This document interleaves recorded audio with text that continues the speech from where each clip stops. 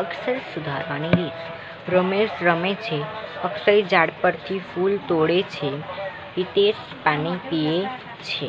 હવે આપણે લખીએ કે અહીં ત્રણ વાક્ય લખેલા છે. One equal to two and three. ત્રણ વાક્ય લખેલા છે. હવે આપણે લખીએ તો પેલો વાક્ય લખીએ કે રમેશ રમે છે.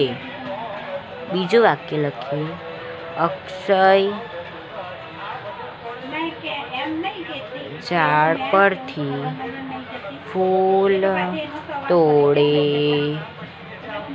છે પછી ત્રીજું વાક્ય લખીએ. તો હિતેશ પાણી પીએ છે.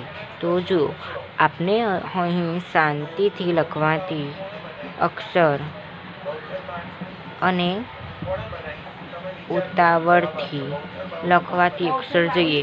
શાંતિથી લખવાથી રમેશ જમે છે. અને અહીં જો અક્ષર આપણે જોતા થોડુંક વળાંક. અહીં આપણે જોઈએ તો રમેશ. તો રમેશને રમેશ. આવી રીતે નીચેથી લખાય છે. જ્યારે આને ઉપરથી આ લખવાની રીત ખોટી છે. પછી ઝાડ. ઝાડ.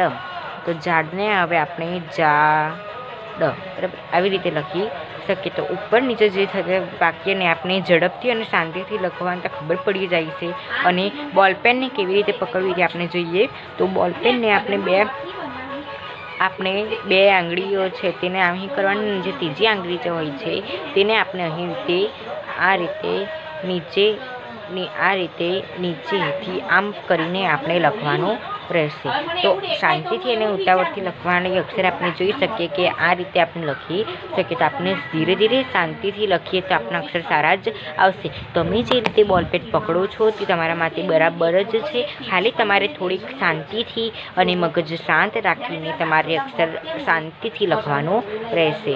Thank you all students